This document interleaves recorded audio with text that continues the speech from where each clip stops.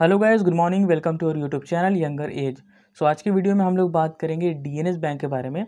आज सेकंड जुलाई 2022 को इसका ऑनलाइन एग्जामिनेशन था असिस्टेंट मैनेजर पोस्ट के लिए। तो इसका एग्ज़ाम जो है मैंने भी दिया है, इसका पेपर मैंने भी दिया है। तो आज की वीडियो में आपको सेल्फ गिवन एग्जामिनेशन दूँगा कि मेरे कितने अटैम्प हुए हैं और पेपर का लेवल क्या था। सब कुछ इस वीडियो में बताने वाला हूँ, इसलिए वीडियो को लास्ट तक ज़रूर देखिए। अगर आपने अभी तक हमारे टेलीग्राम ग्रुप ज्वाइन नहीं किया तो उसको ज़रूर से ज्वाइन करिए।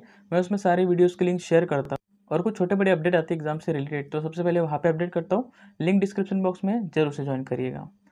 सो so, बात करते हैं डीएनएस बैंक के बारे में। मेरा एक पीएम का शिफ्ट में मेरा एग्जामिनेशन था। तो उसके लिए मैं जो है सुबह ही निकल गया था ट्रेन से जाना पड़ता है तो सुबह जल्दी निकलना पड़ता है।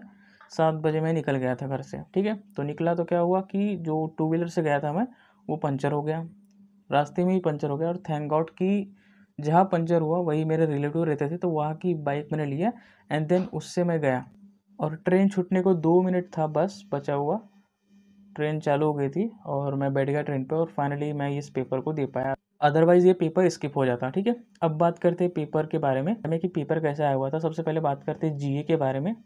तो जो करंट अफेयर आया था इस एग्जामिनेशन में, जो जीके आया हुआ था, वो बहुत कम आया हुआ था करंट अफेयर मैक्सिमम जो है स्टैटिक अवेयरनेस आया हुआ था स्टैटिक ठीक है? जिसमें बैंकिंग अवेयरनेस स्टैटिक अवेयरनेस आया हुआ था। जो करंट अफेयर की अगर मैं बात करूँ तो जनवरी, फरवरी और दिसंबर, मार्च के क्वेश्चन थे कुछ, बाकी पूरा का पूरा स्टैटिक था। मैं कुछ स्टैटिक क्वेश्चन आपको बता देता हूँ, जैसे कि क्रेडिट रेटिंग एजेंसी इनको कौन रेगुलेट करता है? इंश्योरेंस एक्ट ठीक है? इंश्योरेंस एक्ट कब का है? उसके बाद इंडिया की री इंश्योरेंस कंपनी कौन सी है? इंडिया की री इंश्योरेंस कंपनी कौन सी है? उसके बाद मराइन नेशनल पार्क। ठीक है, मराइन नेशनल पार्क कहाँ है? World water day. ठीक है, वर्ल्ड वाटर डे कब मनाते हैं? उसके बाद क्वेश्चन आया हुआ था पी पी एफ़ इसमें जो है मैक्सिमम लिमिट कितनी है? ठीक है पी पी एफ़ इसमें मैक्सिमम लिमिट कितनी है?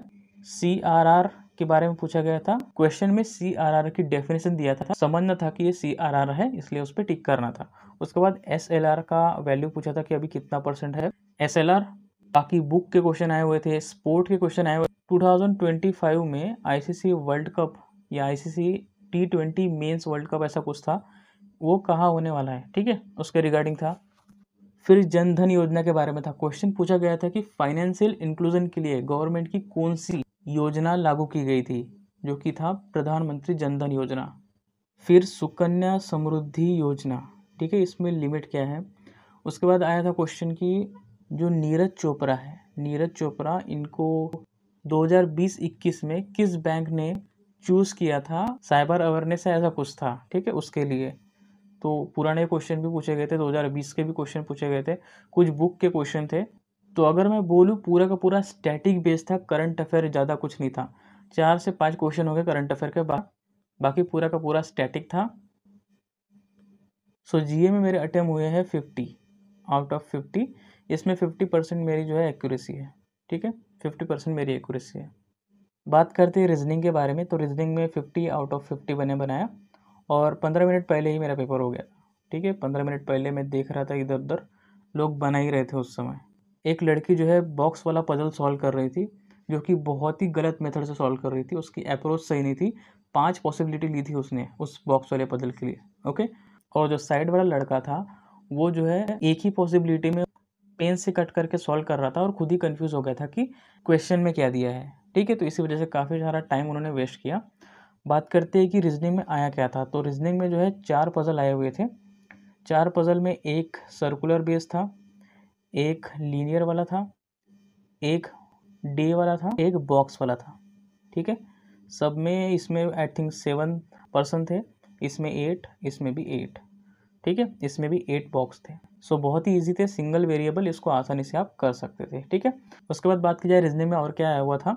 कोडेड इनक्वलिटी के क्वेश्चन आए हुए थे सेलोगिज्म के पाँच क्वेश्चन आए हुए थे उसके बाद डायरेक्शन के क्वेश्चन आए हुए थे सीरीज़ वाले जो क्वेश्चन होते हैं अल्फ़ा न्यूमेरिक सीरीज़ उसके क्वेश्चन आए हुए थे फिर एक अल्फ़ा न्यूमेरिक कोडेड वाला क्वेश्चन आया हुआ था कंडीशन के हिसाब से इस क्वेश्चन का कोड हमको निकालना था ठीक है? ये था उसके बाद इनपुट आउटपुट था इनपुट आउटपुट था, उसमें पैटर्न में बता देता हूँ।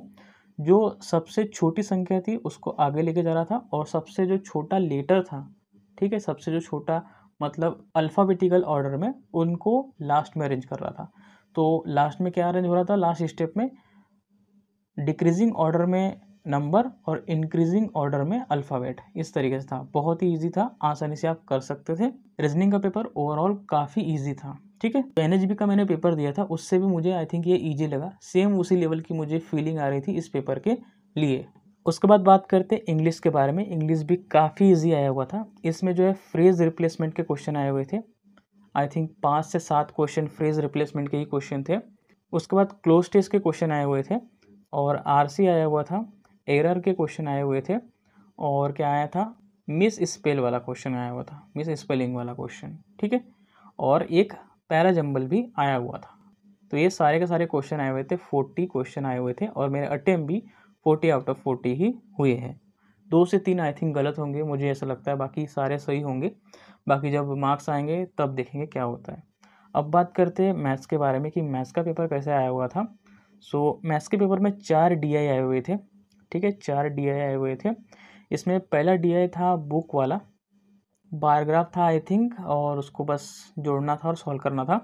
उसके बाद दूसरा आया था पर्सन का ईयर वाइज दिया गया था उसमें दो हज़ार एक, दो हज़ार दो दो हज़ार तीन, इस तरीके से दिया हुआ था दो हज़ार पाँच तक।